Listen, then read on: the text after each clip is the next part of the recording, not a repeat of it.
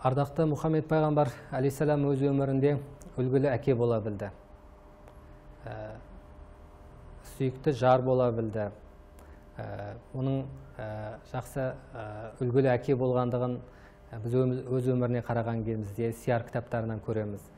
Ә, балаларын еркелетіп тіпті жаңағы өзінің ұлдары шетінеген уақыттарында қолына алып көзіне көзіне ж- мөлтілдеп жас тамғанын көреміз.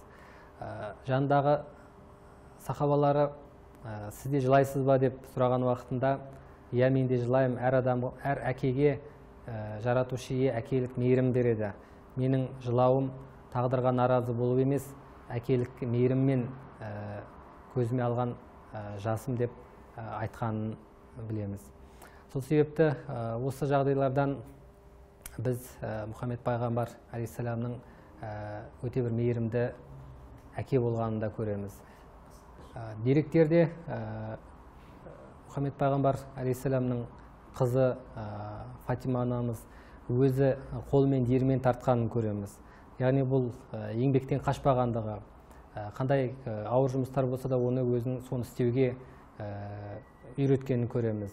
Және ә, қолы диірменнен тасып ә, қолмен ә, диірмен тартып ә, иін ағашпен ә, су тасығаннан иықтары жарала, жара болып содан барып бір қызметші сұраған уақыттарында мұхаммед пайғамбар алейхисалам оларға әр жатарда